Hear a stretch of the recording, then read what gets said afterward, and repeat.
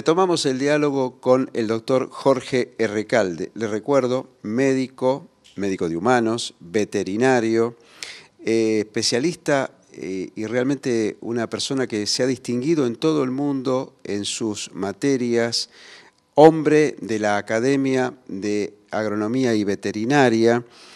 Cuando hablábamos con el doctor Eduardo López en el bloque anterior y contigo, eh, hacías referencia a ambos acerca de que se ha difundido una alarma, una falsa alarma, podemos llamarla así, que ha puesto el foco en la carne, le ha echado la culpa a esta posibilidad de incremento del cáncer, el consumo de 50 gramos de carne por día. Em, tenemos que bajarle el nivel a la alarma. Sí, e, efectivamente. Eh, este informe de la IARC, de la Organización Mundial de la Salud, eh, ha, generado verdadera alarma y eh, en los países que somos particularmente consumidores tradicionales de carne, donde nos gusta mucho comer carne, puede dar lugar a preocupación en la población y es una cosa que hay que desactivar inmediatamente que eh, se diga que un alimento como la carne eh, puede representar algún riesgo para la salud ya es una alarma que no debería, no debería sonar. Eh, la carne es un alimento de primera línea, y, pero cualquier alimento, así como o cualquier sustancia, como lo dijo Paracelso hace ya muchos años, todo es veneno y nada es veneno todo depende de la dosis. Es decir, que el agua misma es un veneno si lo tomamos en dosis excesivas, o la carne, o la leche, o cualquier sustancia. Eh, entonces, eh, todo debe ser consumido eh, armoniosamente en, la cantidad correspondiente. Y nosotros somos un pueblo consumidor de carne y tenemos que seguirlo siendo porque eso nos gusta, es parte de nuestra tradición y la carne es un alimento muy sano. El hecho que eh, se haya mencionado que hay posibilidad de, desarrollo, alguna posibilidad de desarrollo de, eh, cáncer a través del consumo de alimentos, lo que está diciendo el informe es simplemente que hay un pequeño incremento en la posibilidad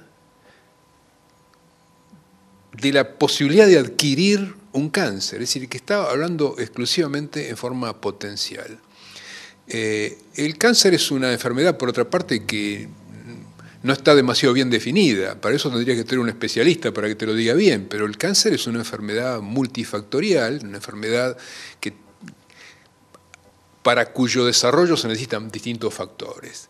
Uno de ellos es el factor genético, es decir, que el individuo debe tener algún tipo de predisposición genética a desarrollarlo. Hay un factor alimentario, donde la alimentación puede también contribuir hay eh, factores ambientales, la polución ambiental, el humo de los caños de escape en la ciudad, el humo del cigarrillo, estos son factores ambientales, este, y, factores emocionales. Eh, la persona que vive estresada, con problemas laborales, problemas familiares, si bien esto no está todavía definitivamente demostrado, también contribuye. Por eso una vez se pregunta, eh, ¿Qué pasa si uno se va con la familia, un grupo de amigos al campo en un radiante día de sol y se come un asado, un rico asado con achuras, con chorizo, con morcilla, con todos estos productos que pretenden ser cuestionados, eh, en un ambiente eh, de perfecta armonía? estos eh, chorizos cancerígenos, por decir de alguna manera, que, tienen algún efecto, es, eh, casi ridículo pensar que una situación de estas eh, puede tener un efecto negativo sobre la salud. todo lo contrario, yo creo que esto prolonga la vida. Tendríamos que convocar precisamente a festejar con un asado esta buena noticia. A veces la información, el manejo de ella, y sobre todo por organismos internacionales, cuando no hay rigor, eh, causa más daño eh, que la propia enfermedad. Es una enfermedad en sí misma. Finalmente coincidís con el doctor Eduardo López acerca de que es dable esperar una aclaración en estas horas, en estos días, en estos meses de la OMS. Bueno, en primer lugar tenemos que esperar que aparezca el informe completo y ver su resumen ejecutivo, a ver si vuelven a insistir con estas cosas. Este, es muy probable que, dada la repercusión que tuvo el tema, haya algún tipo de rectificación y, por otra parte, hay que esperar la opinión de otros organismos internacionales.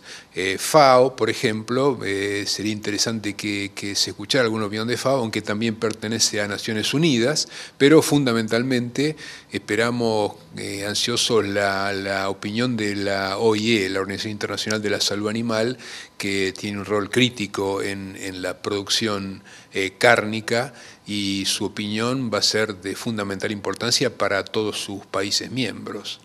Eh, por otra parte, eh, sería bueno también escuchar opinión de las autoridades nacionales que eh, seguramente deben estar pensando seriamente en, el tema.